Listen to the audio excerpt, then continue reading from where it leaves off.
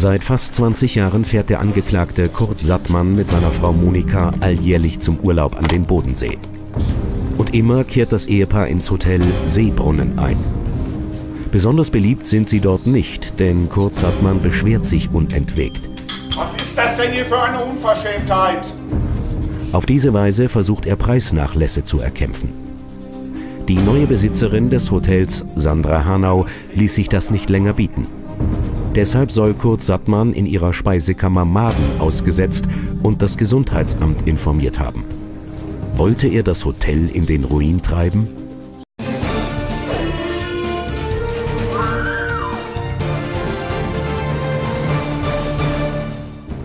Kurt Sattmann, Sie sind geboren am 13.09.1958 in München. Sie wohnen jetzt in Landsberg am Lech. Sie sind verheiratet und Inhaber eines Schreibwarenladens. Ja. Frau Staatsrätin, die Anklage bitte. Was machen Sie da? Ich dachte, das macht man so wegen der Achtung vor dem Gericht. Naja, lassen Sie mal. Es reicht schon, wenn Sie einfach nur zuhören. Ja? Setzen Sie sich bitte, Herr Sattmann. Ja, dann eben nicht. In der Nacht zum 15. Januar 2011 gegen 2 Uhr drang der Angeklagte in die Küche des Hotels Seebrunnen in Meersburg am Bodensee ein, brach mit einem harten Gegenstand die Tür zur Speisekammer auf und setzte insgesamt zwei Liter Ködermaden aus. Am nächsten Morgen rief der Angeklagte anonym das zuständige Gesundheitsamt an und behauptete, die Hotelküche sei wegen schlechter hygienischer Verhältnisse mit Ungeziefer befallen, woraufhin die Behörde die Küche besichtigte und vorübergehend schloss. Abgesehen vom Imageschaden für das Hotel entstand durch die verdorbenen Lebensmittel den herbeigerufenen Kammerjäger und die beschädigte Tür ein Sachschaden von insgesamt 1500 Euro. Strafanträge wurden form- und fristgerecht gestellt. Der Angeklagte wird somit des Hausfriedensbruchs in Tateinheit mit Sachbeschädigung und der Verleumdung in Tateinheit mit falscher Verdächtigung beschuldigt. Strafbar gemäß Paragraphen 123 Absatz 1 Absatz 2. Nun, Herr Sattmann, jetzt haben Sie Gelegenheit, sich zu dem Vorwurf zu äußern, wenn Sie wollen.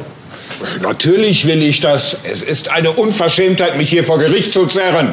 Ja, was hatten Sie denn erwartet? Immerhin haben Sie das Hotel mit diesen Maden so nachhaltig sabotiert, dass es kurz vor der Grenze zur Insolvenz steht. Ja, aber die Viecher, die marschieren da bestimmt schon seit zwei Jahren rum. Und bestimmt nicht wegen mir. Der eigentliche Skandal ist doch der, dass das Gesundheitsamt den Laden nicht schon viel früher hat dicht gemacht. Hat es, es hat zumindest untersucht und es wurde nie irgendetwas festgestellt. Und wissen Sie warum? Weil diesmal zum ersten Mal vorsätzlich diese Maden in dieser Hotelküche ausgesetzt wurden. Weil man nämlich dieses Hotelrestaurant in Verruf bringen wollte. Sie wollten dieses Hotelrestaurant in Verruf bringen. Ach, da reicht's doch, äh, das Essen zu genießen. Da braucht's keine Maden mehr. Das heißt, Sie waren also nicht zufrieden mit dem Hotel? Nein, das war ich nicht. Zumindest nicht seit dem Zeitpunkt, als die Tochter von Herrn Hanau das Hotel übernommen hat. Die ist noch sehr jung und weiß natürlich auch noch nicht, wie sie mit ihren Gästen umgehen kann und umgehen muss. Und ich gehe davon aus, dass sie in spätestens zwei Jahren das alles wieder klar bekommen hat. Und dann macht man auch wieder gerne Urlaub. Ich glaube, Sie sind Hotel. sich überhaupt nicht im Klaren darüber, was Sie dieser Hotelinhaberin mit Ihrem Sabotageakt angetan haben. Wenn das Hotel pleite geht, ist das sicherlich nicht meine Schuld, sondern die von Frau Hanau. Hanau, wer will denn schon ein lausiges Hotel? Also laut Aussage von Frau Hahner haben Sie in diesem Hotel Seebrunn seit mindestens 20 Jahren mindestens einmal im Jahr Urlaub gemacht. Ich frage mich, wieso denn, wenn es da so lausig ist? Das war ja nicht immer so. Früher war das ein nettes, solides Hotel, bis Frau Hanau alles kaputt saniert hat. Früher gab es da eine gutbürgerliche Küche.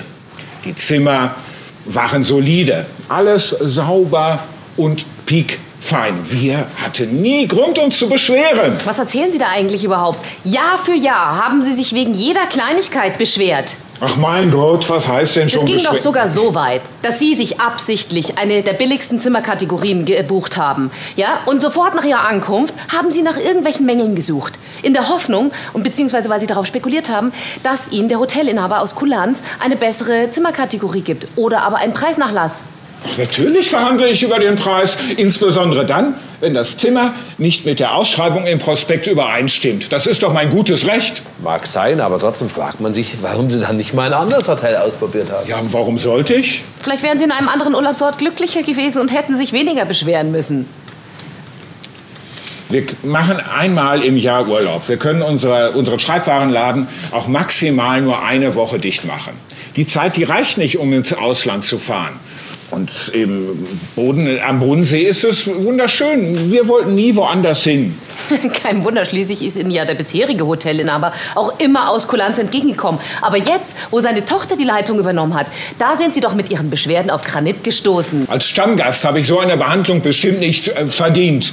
Der Vater von Frau Hanau hatte da noch ein ganz anderes Wertebewusstsein. Ach ja? Ja, wenn ich mich da beschwert habe, dann höchstens über Kleinigkeiten. Mal ein bisschen Staub unter dem Bett oder auch mal ein paar Haare auf dem Waschbecken. Aber, Frau, aber seit Frau Hanau da ist, die hat ja auch aus den Zimmern die Holzmöbel rausgenommen und gegen so neumodischen Kram ersetzt. Vollkommen geschmacklos. Ach, da waren Sie doch sauer, Herr Sattmann, oder? Und deswegen haben Sie sich diese Ködermaden besorgt, sind nach Meersburg gefahren, haben diese Maden in der Küche ausgesetzt und am nächsten Morgen das Gesundheitsamt informiert. Was? Wie jeder anständige Bürger schlafe ich nachts. Ich war die ganze Nacht zu Hause in meinem Bett. Sie haben bei dem Anruf zwar Ihre Stimme verstellt, aber der Beamte des Gesundheitsamts hat die Telefonnummer von seinem Display durchaus aufgeschrieben und die Nummer gehört zu einer Telefonzelle in Landsberg am Lech. Und wo wohnen Sie? Ja, in Landsberg am Lech. Ach nee. Der Ist doch- Beamte wird später auch noch als Zeuge aussagen. Ist doch vollkommen egal, was der sagt. Ich habe nicht angerufen. Und um den Zustand in dem Hotel, äh, in, insbesondere im Hinblick auf die Hygiene beurteilen zu können, da musste man ja noch nicht mal in das Hotel reingehen. Der Teppich vor dem Eingangsbereich, der war doch schon die ganze Zeit total versifft. Bitte schön, ein Hotel von Format achtet auf so etwas. Warten Sie. Was tun Sie denn da, Herr Sie dürfen nicht ohne Erlaubnis aufstehen hier. Was machen Sie denn da? Herr Richter, dann bitte ich um Erlaubnis, aufstehen zu dürfen, um Ihnen ein paar Beweisfotos zu zeigen. Ja, bitte.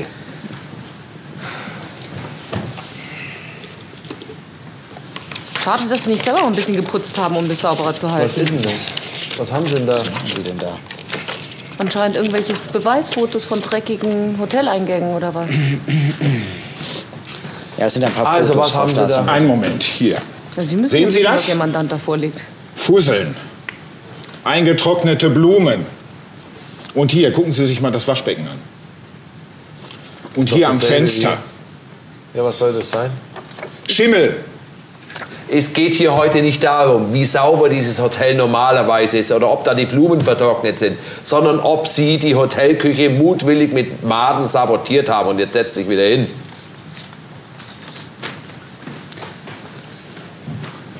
Sag Ihnen Herr was. Sattmann, da drüben müssen Sie noch Platz nehmen. Sie sollen sich da hinsetzen, bitteschön.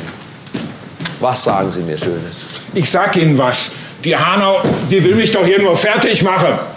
Ich war doch der Einzige, der mal den Mund aufgemacht hat und die Zustände kritisiert hat. Und jetzt will die Frau Hanau mich doch nur hier als Sündenbock benutzen, für, um den, die unmöglichen hygienischen Zustände in ihrem Hotel in meine Schuhe zu schieben. Fassen wir zusammen.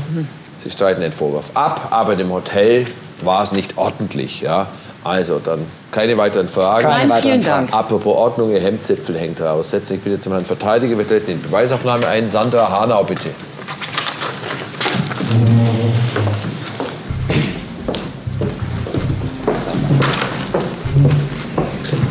Frau Hanau, guten Tag. Nehmen Sie bitte Ihr Platz.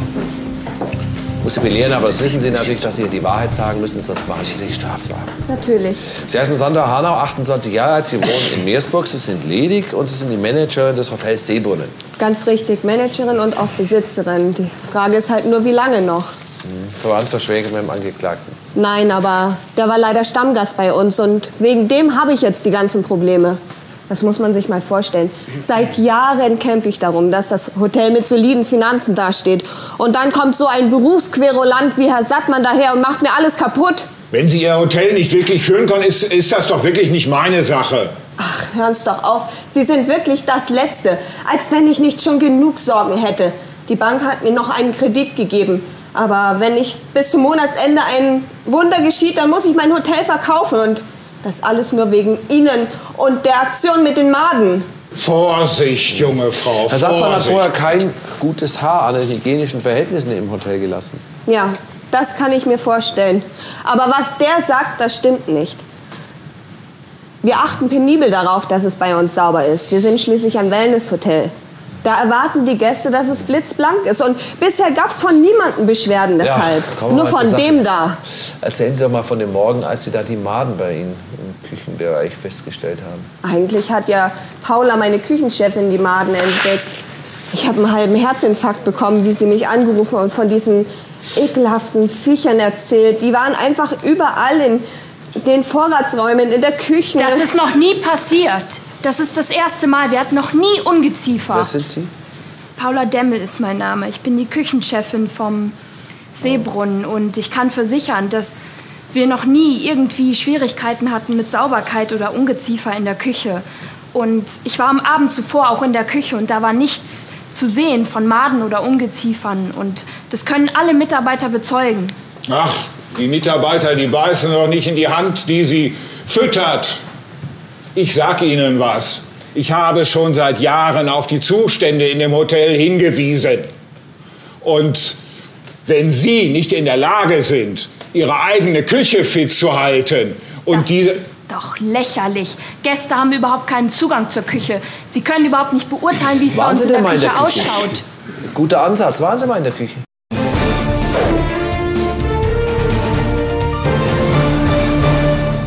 Nein, Haben Sie jemals Ungeziefer bei uns gesehen?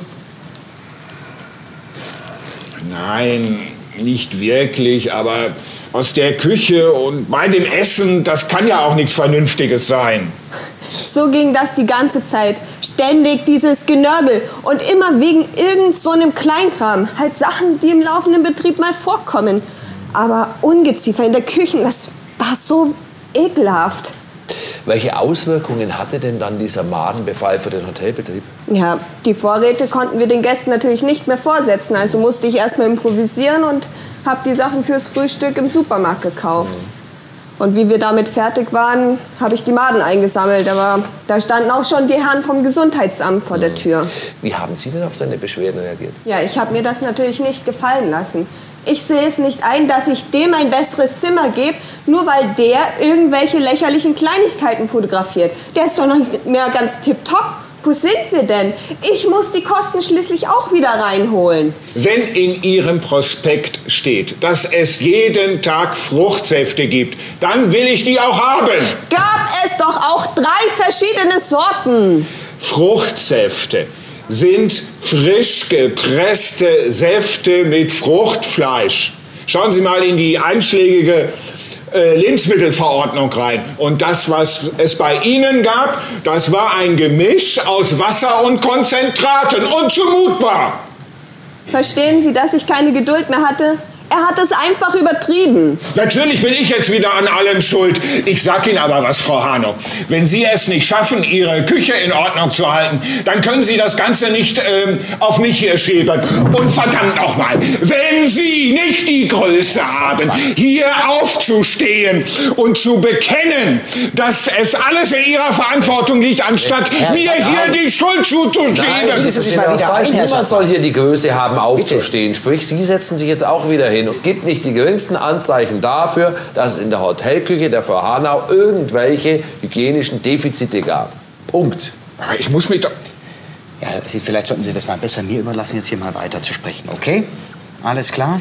Gut. Ich kann natürlich den Ärger meines Mandanten durchaus nachvollziehen. Schauen Sie, mein Mandant, der war immer gerne in dem Hotel Seebrunnen. Und das, was die Frau Hanau als Nörgelei auffasst, das war von ihm lediglich als konstruktive Kritik gedacht. Mein Mandant, der wäre der Letzte, der das wollte, dass das Hotel dicht machen muss. Tja, das Hotel würde dann aber unter einer neuen Leitung wieder aufmachen. Genau. Eine Leitung, die vielleicht ein neues Konzept hat, das dem Geschmack des Angeklagten eher entspricht. Der kann es doch kaum erwarten, dass ich pleite gehe. Aber das Hotel, das dürfte doch einiges wert sein. Ne? Oh, das ja. liegt direkt am Bodensee. Die Gegend ist touristisch hervorragend erschlossen. Da kann ich mir vorstellen, da wird es doch einige Investoren geben, die dieses Hotel mit Handkuss nehmen würden. Ja. Fünf Angebote hatte ich letztes Jahr. Aber so schnell gebe ich nicht, mich nicht geschlagen. Ähm, Frau Hanna, ich denke da ganz konkret an den Herrn Ludwig Grabe, der da in der Nachbarschaft einen Segelhafen betreibt. War der eigentlich auch am Kauf interessiert? Also hören Sie mir bloß mit dem auf.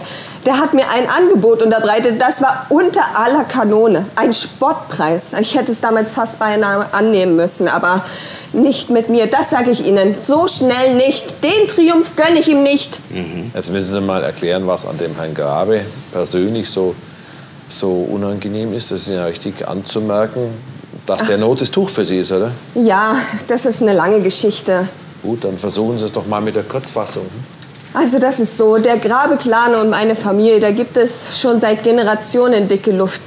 Eigentlich weiß ich selbst gar nicht mal genau warum, aber seit Jahrzehnten geht das schon hin und her.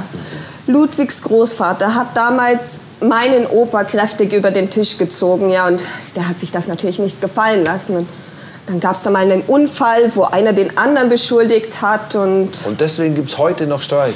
Ich weiß, das ist kindisch. Ich will bei diesen Kindereien eigentlich auch erst gar nicht mitmachen, aber die Grabes lassen keine Gelegenheit aus, meiner Familie Schaden zuzufügen. Und da muss man sich wehren. Also ich gehe jedenfalls davon aus, dass dieser Herr Grabe immer noch ein brennendes Interesse an diesem Hausgrundstück hat. Immerhin liegt es neben seinem eigenen und dass er damit dann auch noch die Familie von der Frau Hanau demütigen würde, kommt hinzu. Das heißt, er hätte ein starkes Motiv für einen Sabotageakt.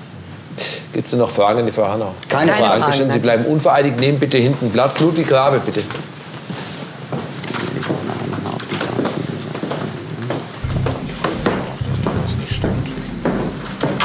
Herr Grabe, guten Tag.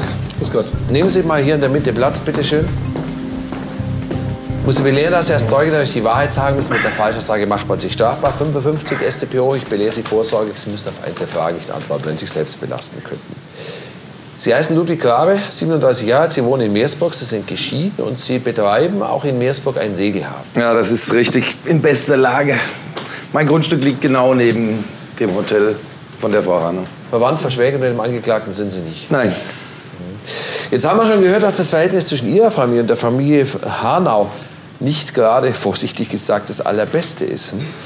Ja, wie gesagt, diese Hanau-Sippe, wenn die mal endlich zugeben würde, dass ihr Vater den Tod meines Vaters eiskalt, aber eiskalt, ausgenutzt hat, um ihr Grundstück zu vergrößern, nur einen Zaun hochzuziehen. Das ist eine Bitte? Frechheit. Das ist ja wohl lächerlich. Da gibt es sogar ein Gutachten. Mein Vater hat den Zaun aus Versehen 8 cm zu weit drüben gebaut. Und wegen sowas musste ich ein halbes Vermögen für Vermesser und Gutachter ausgeben. Dann hätten sie ihn abreißen können. Wegen 8 cm? Also, Sie haben ja wirklich nicht mal alle Latten am Die Zaun. gehören ihnen aber nicht. Und die hole ich mir zurück, garantiert. Lassen wir doch die ganze Familienfehde mal außen vor und kommen wir mal zum Tatvorwurf. Laut Ihrer polizeilichen Aussage äh, wollen Sie ja in der Nacht, als die Maden da in der Hotelküche der Frau Hahner ausgesetzt wurde, eine Beobachtung gemacht haben. Ja, ja, genau. Ich habe da äh, das Auto von dem Herrn Sattmann gesehen. So nachts 2 Uhr. Sie wohnen doch am ganz anderen Ende von Meersburg. Was hatten Sie denn da in der Nacht vor dem Hotel eigentlich zu suchen? Ein Verteidiger, es war ein Sturm gemeldet. Und ich wollte schauen, ob bei mir am Seehafen alles verzurrt ist, alles zugesperrt ist. Und deshalb habe ich geschaut und habe genau hinter dem Fahrzeug von Herrn Sattmann geparkt. Woher kennen Sie denn eigentlich das Auto meines Mandanten überhaupt? Nicht nur das Auto kennt jeder, auch den Herrn Sattmann bei uns, jeder. Der hatte schon mit jedem Streit. Ich denke da nur vor zwei Jahren, da wollte er so eine Strandkabine mieten und die sind eigentlich reserviert für die Einheimischen. Und äh, der ist ein ganz, also mit allem Möglichen kommt er. Auch einen Ausweis hat er und äh, Na und, na und, na und, was wollen Sie denn? Ich bin doch hier kein hinterhergelaufener Tourist. nee, ganz was, ganz was Außergewöhnliches. Ausweis. Was ist mit dem Ausweis? Er hat einen Behindertenausweis. Gott weiß, wie der da drankommt. Der steht mir zu, dieser Ja, Ausweis. ja. Und den, den macht er immer hinter die Windschutzscheibe und dann parkt er immer auf den Behindertenparkplätzen. Und die armen Touristen mit dem Rollstuhl, die dann kommen, die müssen auf den engen, normalen Parkplätzen parken oder weiter weg. Meine kaputte Hüfte, die sieht vielleicht nicht so gut aus wie ein Rollstuhl, aber ich habe verdammt nochmal Schmerzen. Herr Sattmann. Ja, ja, das glaube ich. Das glaube ich. Was? Herr Sattmann. Sie, feiner Pinkel, Sie Hinsetzen. wollen mir hier irgendetwas unterstellen. Herr Sattmann, Bitte, jetzt setzen Sie, Sie sich endlich wieder. Ordnungsgeld. Ich Setzen Sie sich. Ich muss mich Sie doch hier mal wehren können. Jetzt atmen Sie mal endlich Sie tief durch und versprechen Sie mir, dass Sie ab sofort Ich sich würde wirklich mal besser im Griff haben. Okay. Ich versuch's. So machen Sie überhaupt keinen guten Eindruck, ja, okay? Sie haben recht. Entschuldigen nur, damit Sie beide Nichts. das auch mitbekommen. Ich Ja. habe gerade den Zeugen noch mal gefragt, ob er definitiv den Wagen des Angeklagten erkannt hat. Und er hat es soeben bestätigt. Ja, ich war nur gerade damit beschäftigt. Äh, Ja, Sie mal- verstehen kann, Herr Kollege. So, Entschuldigung. nichts aber, Sie werden jetzt sich einfach ruhig verhalten. Herr Graber, jetzt zu Ihnen. Sie leiten ja den Segelhafen. Haben Sie da vielleicht mal irgendwann überlegt, Ihr Geschäftsfeld auszuweiten? Auch Herr Verteidiger, wenn sich was anbietet, warum nicht? Und hat sich in den letzten Jahren irgendwas angeboten? Ich hatte mal nachgedacht, in so eine Kaffeekette zu investieren, war mir dann aber zu unsicher. Ich dachte da eher so an ein Hotel. So an den Seebrunnen. Habe ich mal drüber nachgedacht. Und wieso ausgerechnet dieses Hotel? Herr Verteidiger, die Frau Hanau hatte die Finanzkrise verpennt. Und ich habe gedacht, vielleicht kann ich günstig das Hotel erwerben. Und so ein Hotel zu meinem Segelhafen wäre ja ganz schick. Waren Sie denn so gar nicht enttäuscht, dass dieser Kauf nicht zustande kam?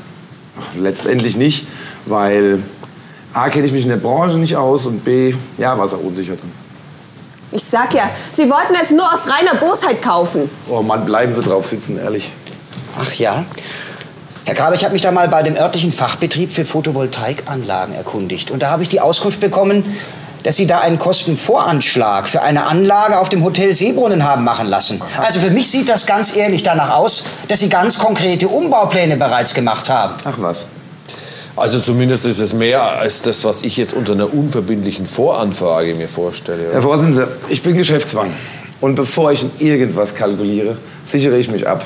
Und mit so einer Anlage auf dem Dach hätte ich die Nebenkosten im Griff gehabt.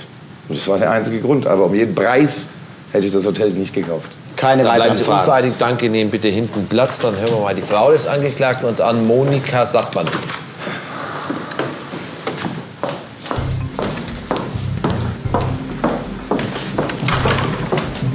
Tag, Frau Sattmann. Nehmen Sie einfach hier Platz. Ich muss belehren, dass Sie als Zeugin hier die Wahrheit sagen muss. Mit einer Falschaussage macht man sich strafbar. Sie heißen Monika Sattmann, sind 48 Jahre alt, Sie wohnen in Landsberg am Lech, Sie sind verheiratet und Sie sind Mitinhaber eines Schreibwarenladens. Und Sie sind die Ehefrau des Angeklagten. Als solche müssen Sie gar nicht aussagen. Sie wissen, was Ihr Mann vorgeworfen hat. Er soll in der Nacht zum 15. Januar 2011 nach Meersburg gefahren sein, soll da ins Hotel der Frau Hanau eingedrungen sein, soll dann auch letzten Endes die Tür zur Speisekammer aufgebrochen und dort zwei Liter Maden, Ködermaden ausgebracht haben. Können Sie sich an die Nacht erinnern? Ja. Können Sie auch sagen, ob Ihr Mann da zu Hause war? Nee, das kann ich nicht. Hey, was, was sagst du da? Du weißt doch ganz genau, dass ich zu Hause war. Na, genau genommen weiß ich das doch nicht. Ich kann doch nicht unbemerkt in der Nacht von Landsberg nach Meersburg fahren. Das dauert wenigstens hin und zurück vier Stunden. Genau genommen kannst, kannst du das doch getan haben. Ich, ich weiß es doch nicht, ob du es warst. Das kannst du doch hier so nicht sagen. Wieso wissen Sie es eigentlich nicht? Naja, mein Mann und ich haben seit drei Jahren schon getrennte Schlafzimmer. Kurt schnarcht so. Und bei getrennten Schlafzimmern hören Sie überhaupt nichts von Ihrem Mann? Nein, ich gehe regelmäßig abends um 10 ins Bett. Und ich habe einen sehr festen Schlaf. Also die Maden wurden irgendwann zwischen Mitternacht und 5 Uhr morgens in der Küche ausgesetzt. Vorher und nachher war da immer Betrieb. Da wäre Ihr Mann auf jeden Fall in der Küche aufgefallen. Und sein Wagen wurde um 2 Uhr nachts im Ort gesehen. Das heißt, wenn Sie um 22 Uhr schlafen gegangen sind, konnte Ihr Mann problemlos nach Meersburg fahren. Ja, und dann entsprechend die Maden in der Küche aussetzen. Denn für die Fahrt braucht man ungefähr so anderthalb Stunden. Ja. Du fällst mir einfach in den Rücken. Monika, bitte. Nein,